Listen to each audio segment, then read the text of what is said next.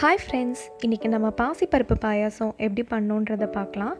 அதுக்கு முன்னாடி நம்ம சேனலை சப்ஸ்கிரைப் பண்ணாதவங்க மறக்காமல் சப்ஸ்கிரைப் பண்ணிவிடுங்க ஸோ பாயாசம் செய்கிறதுக்கு ஃபஸ்ட்டு நம்ம பருப்பை வறுத்து வேக வைக்கணும். இப்போது ஒரு கடாயில் ஒரு கப் பாசிப்பருப்பு எடுத்திருக்கேன். இது வந்து இரநூறு கிராம் மொத்தம்.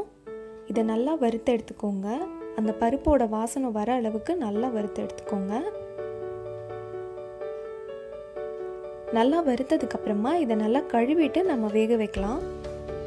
அப்போ தான் அழுக்கெல்லாம் போகும். ஒரு தண்ணி வாஷ் பண்ணாலே போதும். கரெக்டாக இருக்கும்.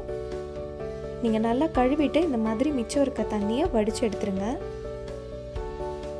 இப்போது குக்கரில் நம்ம கழுவின பாசிப்பருப்பு சேர்த்துருங்க. கூடவே ரெண்டு கப் தண்ணி சேர்த்துக்கோங்க. ஒரு கப் பருப்புக்கு ரெண்டு கப் தண்ணி கரெக்டாக இருக்கும். மூடிட்டு ஒரே ஒரு விசில் மட்டும் வைங்க. ஏன்னா பாசிப்பருப்பு சீக்கிரமாக வெந்துடும் இப்போது நம்ம பாயாசம் செய்ய ஆரம்பிச்சிடலாம். ஒரு கடாயில் அரை கப் தண்ணி சேர்த்துக்கோங்க. கூடவே ஒன்றே கால் கப் வெல்லம் சேர்த்துக்கோங்க. இது வந்து இரநூத்தி ஐம்பது கிராம் மொத்தம். நல்லா வெல்லம் கரையட்டும்.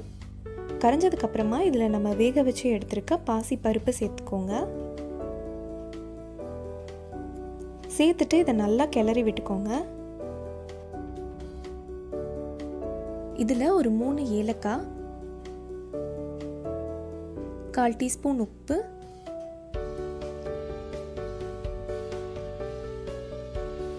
கடைசியாக ஒரு அரை கப் தேங்காய் பால் சேர்த்து இதை நல்லா கிளறி விட்டுக்கோங்க. கிளறினதுக்கப்புறமா இதை ஸ்லோ ஃப்ளேமில் அப்படியே விட்டுருங்க. அதுக்குள்ளே நம்ம முந்திரி திராட்சையெல்லாம் நம்ம வறுத்து எடுத்துடலாம்.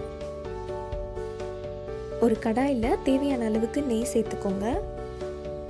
பொடியாக நறுக்கி வச்சுருக்க தேங்காய் சேர்த்துக்கோங்க. தேங்காய் கொஞ்சம் கலர் மாறுற அளவுக்கு வறுத்துக்கோங்க. மாறினதுக்கப்புறமா அது கூட தேவையான அளவு முந்திரி கொஞ்சமாக பாதாம் கால் கப் அளவுக்கு திராட்சை சேர்த்து இதை நல்லா வறுத்து எடுத்துக்கோங்க. வறுத்துட்டு நம்ம பாயசமில் இதை அப்படியே ஆட் பண்ணிவிடுங்க பாயசத்துக்கு இந்த நட்ஸோட ஃப்ளேவர் ரொம்பவே நல்லாயிருக்கும் தேங்காய் திராட்சை முந்திரி பாதாம் எல்லாமே வந்து அவ்வளோ டேஸ்ட் கொடுக்கும். உங்களுக்கு எக்ஸ்ட்ரா ஃப்ளேவர்ஸ் ஆட் பண்ணி கொடுக்கும். அவ்வளோதான். நம்மளோட பாயாசம் இப்போ ரெடி ஆகிடுச்சு ரொம்பவே ஈஸியான அதே சமயம் ஒரு ஃபிஃப்டீன் மினிட்ஸில் குவிக்காக பண்ணக்கூடிய ஒரு ஹெல்த்தியான பாயாசம் தான் இது. பாசிப்பருப்பு பாயாசம். ஸோ டெஃபினட்டாக நீங்களும் ட்ரை பண்ணுங்கள் ட்ரை பண்ணிவிட்டு உங்களோட ஃபீட்பேக்ஸை எனக்கு ஷேர் பண்ணுங்கள் தேங்க்ஸ் ஃபார் வாட்சிங்